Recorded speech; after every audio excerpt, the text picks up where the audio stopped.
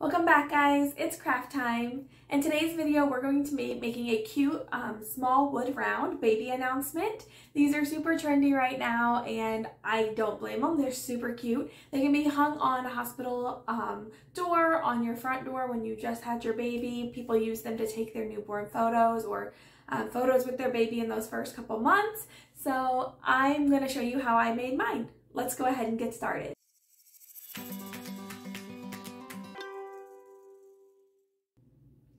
This project is a little more exciting than most because this is for my new coming niece. She's supposed to be here in February if she hangs on that long. So I wanted to make this for my brother and my sister-in-law because I'm so excited for them and I cannot wait. To start with this, I have a small, it's a 12 inch wood round. Now I have a bunch of these that I had been lucky enough to come across um, in bulk. I split them with a friend of mine, so I have a ton. I don't necessarily know the exact um, brand or anything that they are because we did get them from an auction.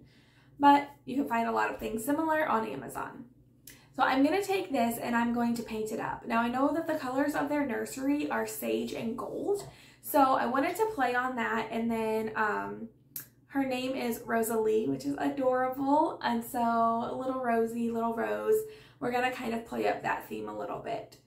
To start, I just wanted to pick my colors. I'm using chalk paint just because that's what I have already in the colors that they need. But I am going to use a little bit of acrylic paint as well because I need a pop of pink and I don't have any pinks in my chalk paint.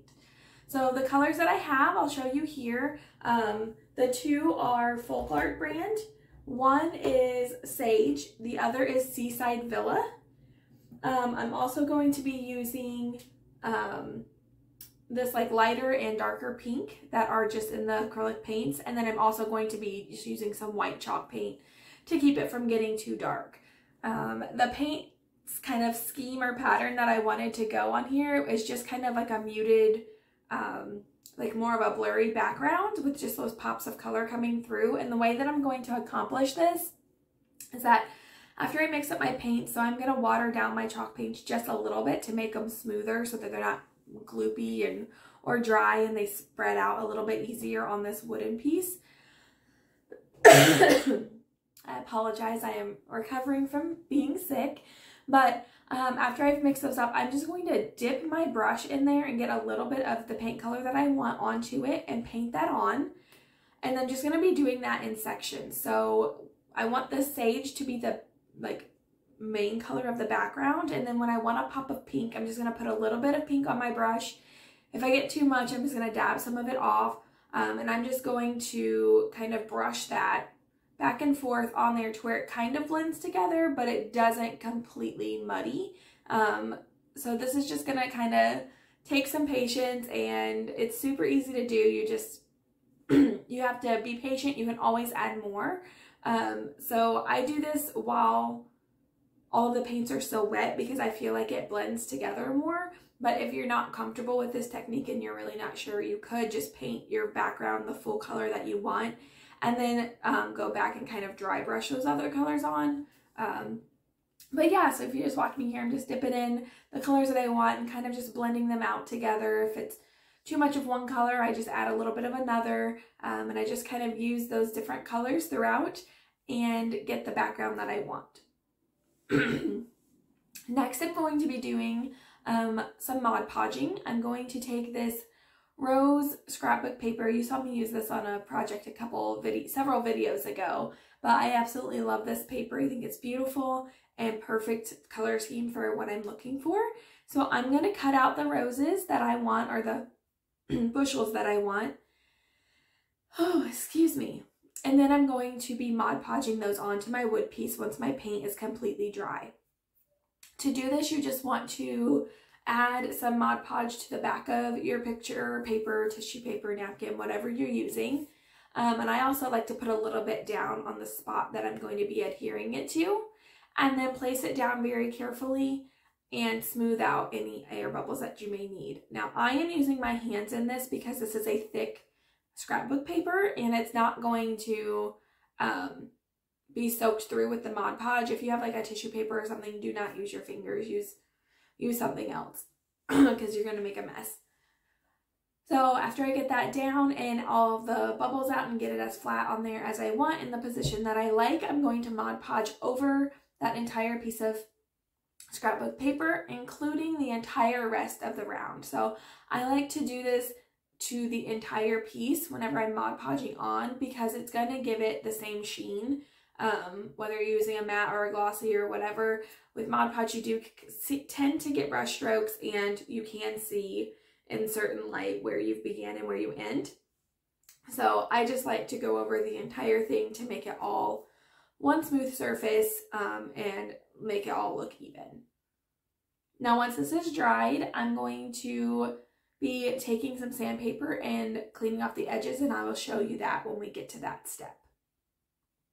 Now I'm going to be making a stencil to put the name and the date, time, weight, and length on here. I created this design in um, Design Space um, on my own.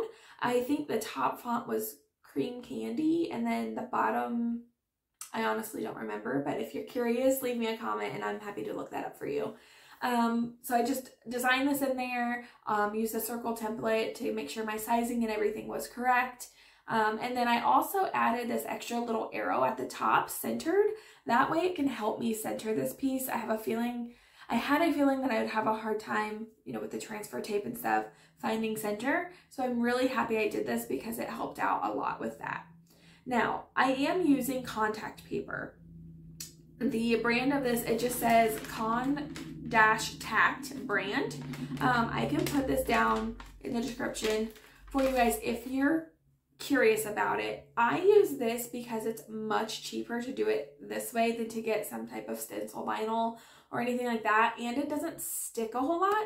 And I really, really like that because I have in the past tried to do like the stencil vinyl or other options and it just didn't work for me. It would rip my paint off even if I sealed it in. Um, I always seal in even the paint. So if I just do like an acrylic paint, whatever, and let it dry, whatever, I'll put like a polyacrylic or a Mod Podge or something over it and let that dry too to try to keep it from peeling up. And I always had issues with that. And it could honestly be operator error, but this is what has worked for me. So I had bought a bunch of this contact paper for a project that I wanted to do on a filing cabinet and then it didn't turn out kind of like how I wanted it to. So I have a bunch of this contact paper left over and I wanted to put it to use. So I use this with the washi tape setting and it cuts perfectly every single time.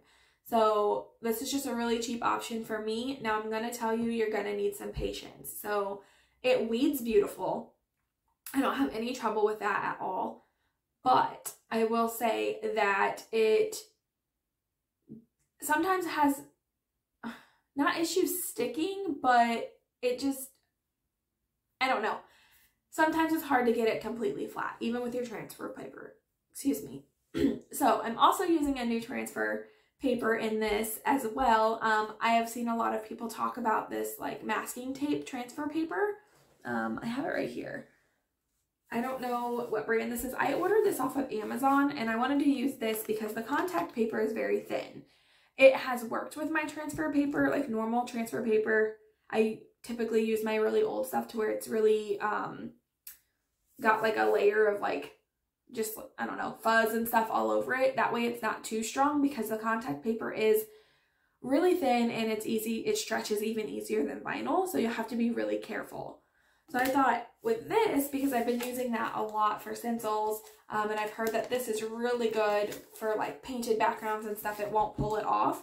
I wanted to give it a try. So it gave me a little bit of difficulty on the fact that the contact paper is really thin. This masking tape transfer is very thin. So when I went to put it down, um, it was really lightweight and easy to move around and everything, but it didn't hold as stiff as a norm my normal transfer paper would. So I had a little bit of bubbling issues and whatever, but we'll get to that in a second. Um, so basically you just put it down like regular transfer paper. Um, you pull it up.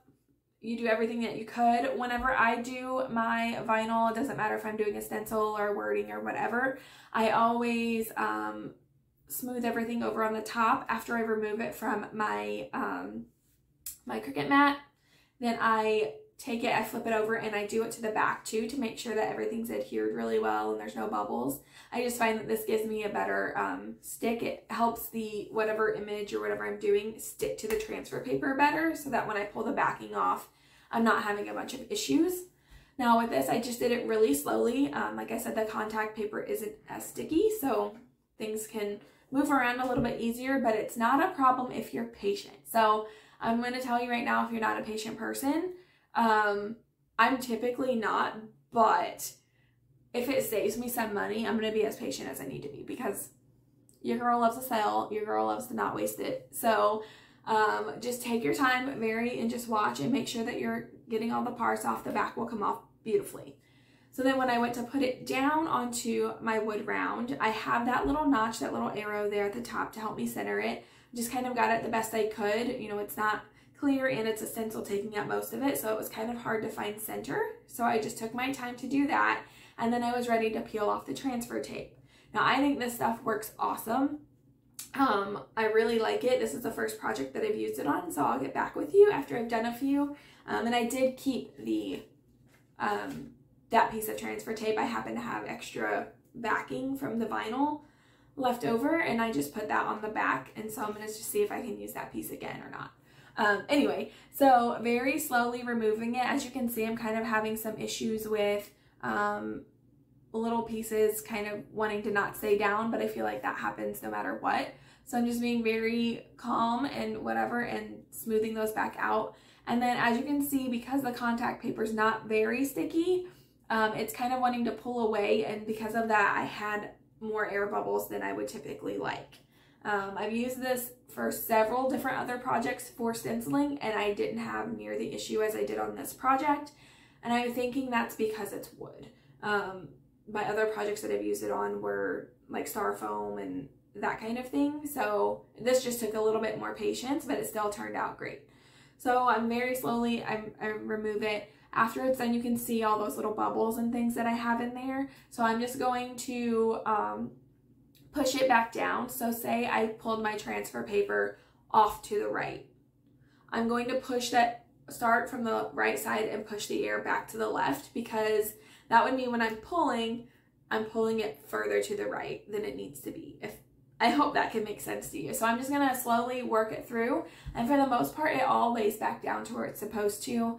Um, and in the spots that it doesn't, I'm just going to take my little X-Acto knife, slice it, and kind of fold it over itself to where it still looks good, um, but there's no bubbles to where the paint can get underneath. So after you've done what you need to do to get your stencil down, if you're using this, like I said, to me, yes, it's a little extra work, but it saves me a ton of money, and I feel like any crafter can respect that. So um, get it down, just use your patience, and then it's time to stencil this on. Now, typically, if I were going to be doing some type of paint on top of my stencil, the best thing that you can do for a hack, um, if it's a solid background, you can use the color of your background and go ahead and stencil on. Or for any background, like for instance this one, I have all these different colors going on, you can use Mod Podge and you would just literally Mod Podge, like stencil and Mod Podge on your entire face of your um, stencil. And what that's going to do is keep your paint from bleeding under. So I'm going to, in this one, actually be using a paint pen and I don't think that's going to be necessary. So I'm going to skip this step, but I'm telling you this is a hack that you want to get in the habit of. Yes, it's an extra step and it takes a little longer, but it's going to save you so much cleanup. It's going to give you those really crisp, clean lines, and it's just going to take your project to another level that you've been missing out on. So just trust me on this and do it. Like I said, I'm using a paint marker in this situation, so I'm going to skip this step and I think that should be fine for me. Um, I have a the Krylon gold leafing pens. These things are amazing and I highly suggest them for literally any of your projects. There's just no comparison. Even if you were to buy a cheap, decent pen, when you put them side by side, hands down, the Krylon is going to outperform every single time. Trust me, I have done it. I've picked up those cheap Dollar Tree pens. I've picked up the Walmart pens. I've picked up the Michaels. There's no touching the Krylon. This is, I'm not sponsored, but let me tell you, I would rave them all day. So um, I can put in that description below that one that I use as well. Um, I don't have any affiliate links, so this is literally just me praising them because they're beautiful and they're amazing. So now it's time to stencil this in. I'm going to do, um, at first I was kind of just like coloring it in. When I stencil, I typically use, like tend to swirl and that happens to work best for me, particular and particularly for this as well. Um, after I did the first couple ones, um, I started doing that and it just covers a lot better for me. Um, everybody kind of has their own little technique that works. People use sponges and bounce, whatever. I have found that the swirling method is what personally works best for me. Um, you just have to be really gentle so that you're not moving the contact paper. For instance, like where the in that little like angle that comes down. If you're too hard, you're just gonna move that off the wood and it's not gonna be a good um, finish. So just really lightly, I'm just gonna swirl over. I'm gonna do two sets of the marker on it and then we're ready to peel this off. I think this turned out so beautiful. I love it. Um, this is going and is meant for indoors, so I'm not going to seal the marker pin in at all. Um, it's going to stay really well.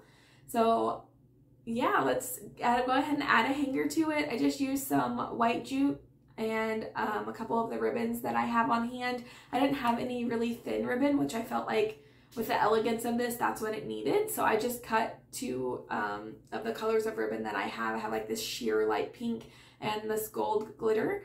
And I'm just gonna tie those on to make like a, a fun little airy ribbon to add to the door hanger. And that is the completed project. So if you guys like this, let me know in the comments below. I love to hear from you guys. Um, if you give this a try, let me know what you have made, what colors you chose. I would just really love to hear what you guys have to say, what you've been up to. Um, yeah, I want to take you guys in for a closer look. I really appreciate you being here, and I'm going to see you next time.